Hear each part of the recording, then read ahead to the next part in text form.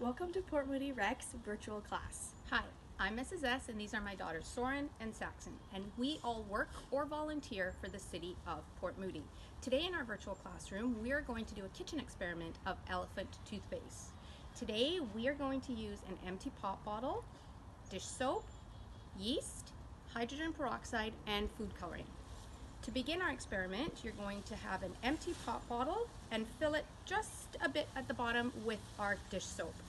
I've already gone ahead and put some stripes of food coloring into our bottle. You can do that simply by taking your food coloring, tipping your bottle, and having it roll down the side of the bottle. Or you can just dump a rainbow colors in.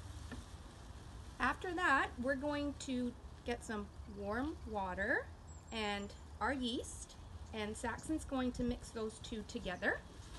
In our other measuring cup, we have our hydrogen peroxide, and we're going to slowly pour that into our pop bottle. And we can already see some bubbles forming in the bottom, which is awesome. Super cool. Then we're going to slowly swirl our hydrogen, hydrogen peroxide and our dish soap together just to get it all nice and mixed together. And if you've done stripes on your bottle, try not to, to mix too um, quickly so that we don't um, wash the stripes off the side of our bottle. All right. Saxon, did you make sure that's all mixed nice, Yes. nicely together? Perfect. So we're gonna take a look and just make sure that we have all. You want to make make sure that you have all your oops, sorry, all your lumps out, and that your yeast is all mixed with your warm water. You got to make sure you use some warm water so it helps the yeast dissolve. All right. So now, when Saxon adds the yeast to the uh, pop bottle, we're gonna see what happens. All right, Saxon, you can come on over. And Saxon's gonna slowly pour, slowly but quickly, pour the yeast into the bottle.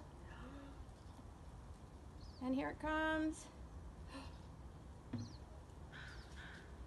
It looks just like toothpaste. Yeah. So when we did the red and blue stripes, it looks like your toothpaste at home.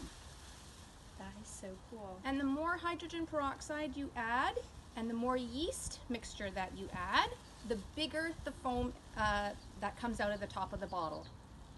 Starting to slow down. Make sure that you have your surface covered with some plastic if you're going to use food coloring because we don't want it to stain any tables or the driveway. Awesome, guys. That was fantastic. What do you think? That was great. That worked Super awesome. Cool. Perfect. Good luck with our experiment and let us know how you do. Bye guys. See ya.